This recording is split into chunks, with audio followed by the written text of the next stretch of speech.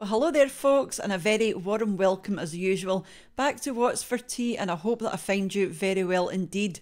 So, tonight for tea, I've made traditional mince and tatties, and you know this is one of our absolute favourites. You'll find this in most dinner tables through the week in Scotland at some point. You know, it's just so easy to put together and just so tasty as well. So, I'm going to run you through everything that I've used, but all of these ingredients will be in the show more box or the description box underneath the video. You know, it's really simple. And if you haven't tried this, I, you know, I do hope you give it a go. So I've got some potatoes, I've got some onions, I've also got some beef stock. I'm using OXO, but you can use whatever you like. I've got some corn flour and obviously the minced beef there. I've got this one from the local butcher and then a couple of diced carrots as well. We're going to be having some mashed swede at the side or turnip or rutabaga, whatever you want to call it, and that's completely optional. So you want to get some oil in the bottom of a pan, get that nice and hot, and to that you can add your carrots. Give them a good stir around to get coated in the oil and let these cook for between 5 and 10 minutes. You're just looking to soften these up quite a good bit because you want to take the raw edge off of these and then we're going to throw in the onion. This is one large onion I've finely diced, but if you don't have a big onion, just use a couple of small ones or a medium one and pop some salt on the top, and that's going to help your onions to sweat down a wee bit quicker and get softer a wee bit faster. So give that another five minutes with your lid on. Get your lid off and then just give it a good stir through and just make sure it's nice and soft or you know your carrots are getting nice and soft. And then the next thing we're going to do is pop in your minced beef. Now all I would say is get the best minced beef that you can. Like I said mine is from the local butcher and it's going to make a big big difference if you use a good quality mince or ground beef. So just break all that up and make sure it's well browned all over. Just keep moving around and stirring it around and eventually it will be, you know, browned all over. It might take you about five minutes or so, but this is well worth doing properly.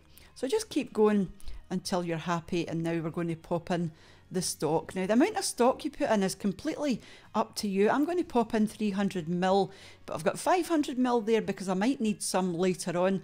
I ended up not using it, so I've used 300 mil. We do like a you know a good bit of gravy in this, but not too much. We don't like really watery mince. We do like it quite thick, so this is down to your own personal preference. But let that simmer away for about half an hour.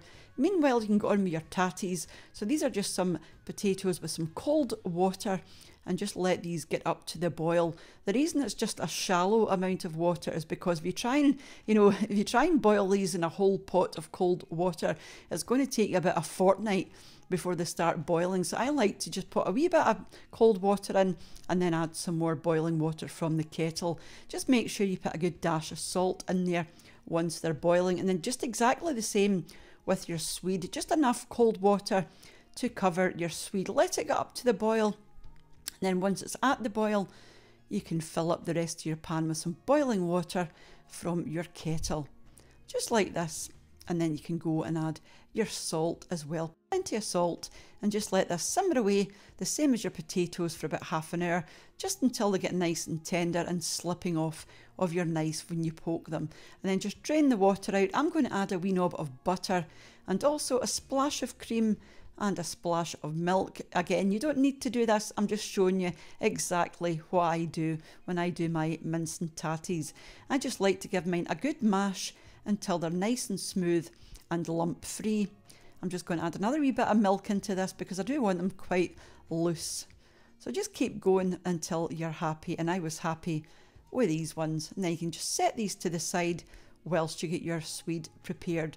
Again, if your swede is nice and tender, just drain out the water and I'm going to pop another wee knob of butter in there and a dash of white pepper and I think this makes all the difference but it has to be white pepper. It's just not the same with black pepper. And again just give these a good mash to your own liking or you, you know you, you don't need to mash it at all if you don't want to. But I like to mash these to about the same consistency as the mashed potato. And by now your minced beef should be ready for your thickener. And this has been going for about half an hour and I'm just checking there to make sure there is plenty of liquid still there, and there is. If it's quite dry at this point, you can add a wee bit more of your beef stock, but I was happy with this. So I've just mixed one tablespoon of corn flour or cornstarch with one tablespoon of cold water and just add as much as you need just to thicken this up to your own liking. You might not need it all or you might need it all. It really just depends how thick you want this and I was happy with this. I used about 90% of mine I think. Yeah, and just let this simmer away for a few minutes and it will thicken up another wee bit. And this is exactly how I like mine. So that is your mince now done. Your tatties are waiting and ready to be served, and so is your sweets. And all you have to do now is serve. So I like to use a bowl just because of the gravy.